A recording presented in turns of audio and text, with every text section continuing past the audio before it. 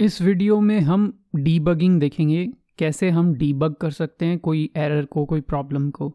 तो console log से तो आपने कई बार डीबग करके देखा होगा। तो मैं यहाँ पे एक सिंपल कांस्टेंट पुट कर रहा हूँ ए बी सी एक फ़ंक्शन लिख रहा हूँ, जिसमें मैं गेट नेम में नेम रिटर्न कर रहा हूँ। जो वो सिंपल सा एक फ़ंक्शन है, जो वो इनपुट लेता है, वही रिटर्न करता है। अब मैं इसको कॉल करूँगा, यहाँ पे मैं ग्लोबल वेरिएबल पुट कर दूँगा। तो एक सिंपल सा एक कोड आ गया है, यहाँ पे ये प्रिंट भी हो रहा है, जैसा एक्सेप्टेड है कि हम कह रहे थे ए बी सी आएगा। यहाँ पे आप सोर्सेज टैब में जा सकते हो और ऐप जेस को ओपन कर सकते हो। तो इसके लिए आपको कमांड पी या कंट्रोल पी इस तरह से कुछ शॉर्टकट यूज़ करके भी ऐप जेस ओपन कर सकते हो। अब ये कोड आपको यहाँ पे दिखाई दे रहा है तो इसमें आप यहाँ पे क्लिक करके जैसे टेंथ लाइन पे एक ब्रेक पॉइंट बना सकते हो। तो फ़र्स्ट चीज़ है ब्रेक पॉइंट। ब्रेक पॉइंट एक ऐसी चीज़ है जिसपे आप पॉज ले सकते हो। यानी यहाँ पे आके आपका ब्राउज़र कोड को रोक देगा। ठीक है, जैसे आप एक रिव्यू लेना चाह रहे हो उस चीज़ का और आपका ब्राउज़र यहाँ पे हैंग हो जाएगा। यहाँ पे आपको ग्लोबल वेरिएबल्स दिख रहे होंगे और भी चीज़ें हम एक्सप्लोर करेंगे क्या क्या है। तो यहाँ स्क्रिप्ट में ग्लोबल वेरिएबल योर नेम तो दिख रहा है। ये आपके एप के ग्लोबल वेरिएबल्स दिखाएगा। अब यहाँ पे कुछ बटन्स हैं, उनको एक एक करके एक्सप्लोर करते हैं। तो जैसे यहाँ पे ये रिव्यू है, इसको चला दोगे तो ये प्ले हो जाएगा। तो प्ले पॉज की तरह है, जैसे जो आप यहाँ प्ले कर दोगे। आगे कुछ बटन्स हैं, जैसे step over to next function ये एक तरह से नेक्स्ट फ़ंक्शन पे जंप कर जाएगा। तो जैसे कंसोल लॉग है तो उसके बाद तो वैसे कोई फ़ंक्शन है नहीं। तो वो सीधे यहाँ पे प्रिंट हो गया, इस पर चला जाएगा। लेकिन कुछ और छोटे फ़ंक्शन है, जैसे स्टेप इन ये एकदम एक एक स्टेप चलेगा। जैसे ही आप इसको क्लिक करोगे तो सपोज़ ये कैसे गेट नेम में चला गया, क्योंकि गेट नेम सबसे पहले कॉल हो रहा है, फिर उसके अंदर एक एक लाइन ये एग्जीक्यूट करेगा। तो यहाँ आपको लोकल वेरिएबल भी दिख रहे हैं नेम दिख रहा है दिस जनरली हर फ़ंक्शन हर जावास्क्रिप्ट में होता ही है। तो नेम में आपको दिख रहा है एबीसी तो एक एक करके आप वेरिएबल की वैल्यू भी चेक कर सकते हो। यहाँ ऊपर एक वॉच सेक्शन है। यहाँ पे आप वो वेरिएबल्स देख सकते हो, जिनको आप एक तरह से कंसोल लॉग की तरह करवाना चाहते हो। तो वो सारे वेरिएबल्स भी आप देख सकते हो। यहाँ पे स्टेप आउट और ऐसी चीज़ें भी हैं जिससे आप वापस जा सकते हो। जनरली इतनी यूज़फुल नहीं है। एक और बार आप क्लिक करोगे तो आप नेक्स्ट लाइन के आगे आ गए। तो ये रिटर्न वैल्यू भी आपको बता रहा है नेम भी आपको बता रहा है। एक और बार आप जाओगे तो आप लॉग फ़ंक्शन पे चले गए, क्योंकि ये एक तरीके से पीछे जा रहा है। जैसे आपको पता होगा प्रोग्रामिंग में पहले अंदर वाले फ़ंक्शन चलते हैं, फिर बाहर वाले चलते हैं, फिर उससे बाहर वाले। तो उस तरह से एग्जीक्यूट हो रहा है एक एक स्टेप एक और बार रन करोगे तो शायद पूरा प्रोग्राम और यहाँ कंसोल पे प्रिंट हो गया। थोड़ा सा और कॉम्प्लेक्स कोड लेते हैं, जिसमें थोड़ा डीबगिंग का फ़ायदा हमको लगेगा। तो मैं एक पर्सन ऑब्जेक्ट बना रहा हूँ।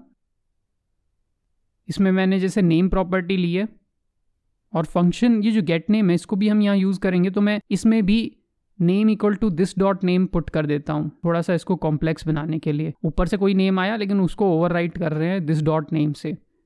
और यहाँ पे मैं गेट नेम फ़ंक्शन को एज इट इज़ ऊपर वाली डेफिनेशन के इक्वल कर देता हूँ। ठीक है? थोड़ा सा कोड कॉम्प्लेक्स हुआ।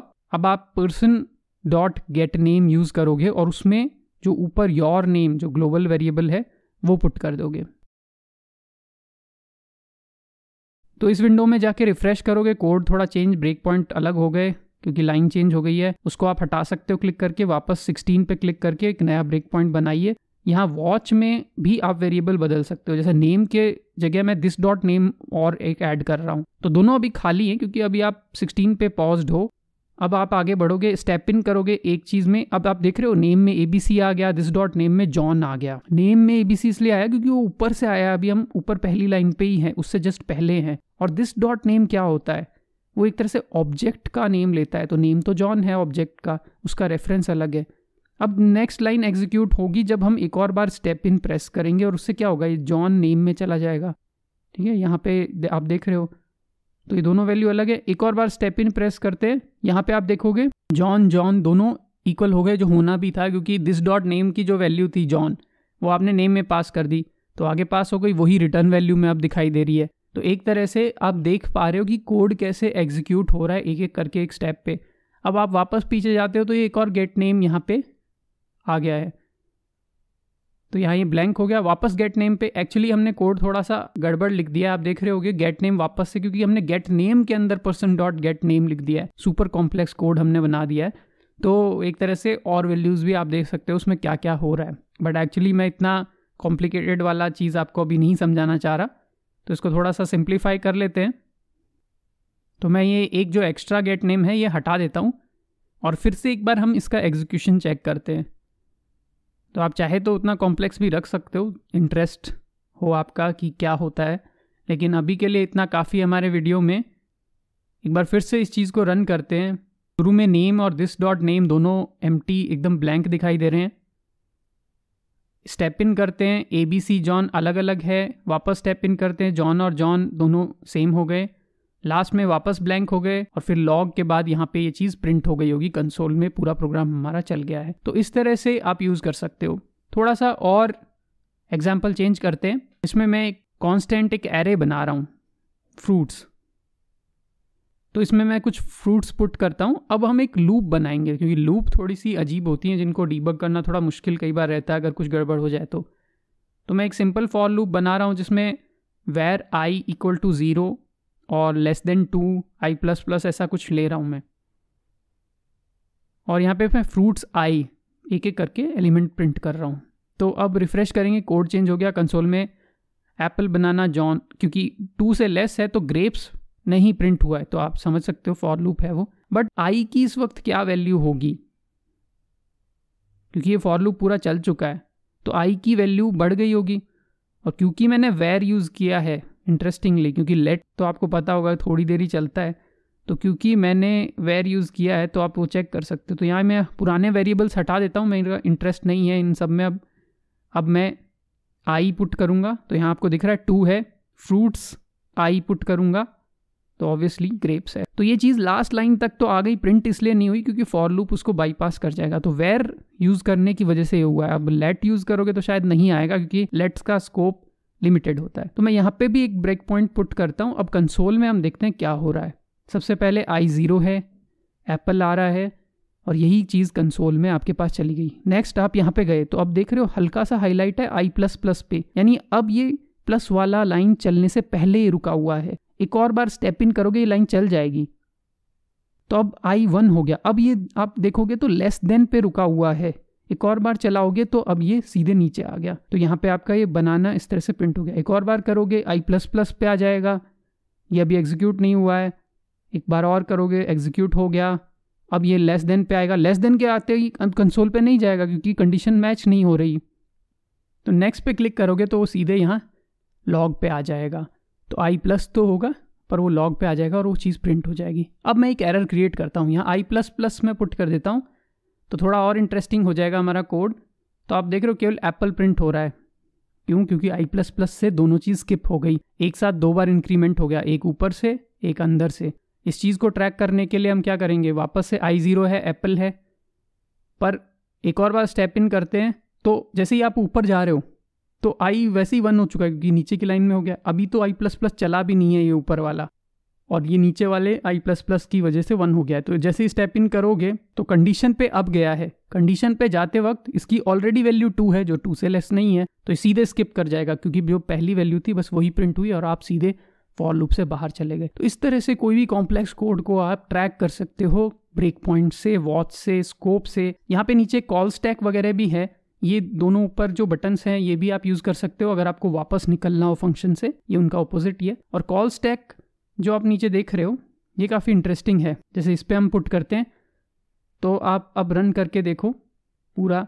तो अभी कॉल स्टैक में एनोनिमस क्योंकि हम ग्लोबल फ़ंक्शन पे हैं, किसी भी फ़ंक्शन के अंदर नहीं है। अब नेक्स्ट में आप देखो गेट नेम में हम आ गए, क्योंकि गेट नेम एक नेम्ड फ़ंक्शन है, और एनोनिमस उसके नीचे है। मतलब पेरेंट सबसे नीचे चाइल्ड उसके ऊपर, इस तरह से चलता है कॉल स्टैक अब गेट नेम में हम अभी भी हैं, ठीक है? जब नेक्स्ट लाइन पे मैंने स्टेप इन किया है, क्योंकि मैं अभी उसी लाइन में हूँ रिटर्न वाली में। एक और बार प्रेस करूँगा तो मैं गेट नेम से बाहर चला जाऊँगा। थोड़ा सा और कॉम्प्लेक्स करते ताकि आपको कॉल स्टैक का फंडा समझ जा जाए। क्योंकि अगर आप प्रोग्रामिंग किसी भी लैंग्वेज में समझते हो तो आपको कॉल स्टैक पता होगा कि किस तरह से एक फ़ंक्शन फिर दूसरा फ़ंक्शन स्टैक में कैसे अरेंज होते हैं। ये काफ़ी कोर कंप्यूटर साइंस फंडामेंटल है, पर इसको आप यहाँ पे चेक कर सकते हो। तो मैंने गेट योर नेम एक और फ़ंक्शन लिख दिया है। और अब मैं ये गेट योर नेम को यहाँ रन करूँगा, जो कि वैसे ग्लोबल वेरिएबल को ही ला रहा है बट थोड़ा सा कॉम्प्लेक्स और हो गया। तो अब क्या होगा? देखते हैं। सबसे पहले यहाँ पॉज्ड है एनोनिमस पे। अब देखोगे गेट योर नेम सबसे जो इंटरनल फ़ंक्शन है, वो कॉल हुआ है। इससे भी पता लगता है प्रोग्रामिंग किस तरह से राइट टू लेफ़्ट या लेफ़्ट टू राइट कैसे चलती है। सबसे पहले अंदर वाला फ़ंक्शन आएगा। अब इसमें हम गए, इसके अंदर चले गए, अभी भी अंदर वाले फ़ंक्शन में, इसके बाहर चले गए। तो अब एक वापस से एनोनिमस पूरे पे आ गए हैं। वापस इसके अंदर गेट नेम में आ गए तो एक एक लेवल ऊपर ये फ़ंक्शंस पे जाता जाएगा एग्जीक्यूट सारे एग्जीक्यूट रिटर्न कर देंगे तो ये पूरा आपका प्रोग्राम चल जाएगा। एक फाइनल चीज़ हम देखते हैं कि यहाँ फॉर लूप में आप एक डीबगर भी लिख सकते थे। सपोज़ आप ये ब्रेक पॉइंट मैनुअली नहीं लगाना चाहते तो ये डीबगर आपको यहाँ पॉज कर देगा, जहाँ पे आप ये वैल्यू भी चेक कर सकते हो। वैसे वैल्यू आप स्क्रॉल मतलब जब ब्रेक पॉइंट खुद से लगाते हो, तब भी चेक कर सकते हो किसी पे भी आप स्क्रॉल करते हो जब जैसे आई पे गया तो मैं इस वक्त वन वैल्यू है, जो मैं वैसे वॉच में देख रहा था आई फ्रूट्स पे मैं पूरे पे स्क्रॉल करके देख रहा हूँ, उसको सेलेक्ट करके कि इसमें अभी बनाना वैल्यू है।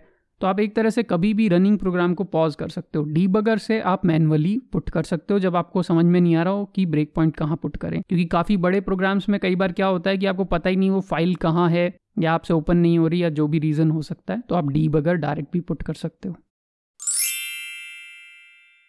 तो इस चैनल पे हम देखते हैं इंटरेस्टिंग कोड कॉन्सेप्ट्स और उनके एग्ज़ाम्पल कोड्स अगर आप और ऐसे वीडियो देखना चाहते हैं तो सब्सक्राइब कीजिए।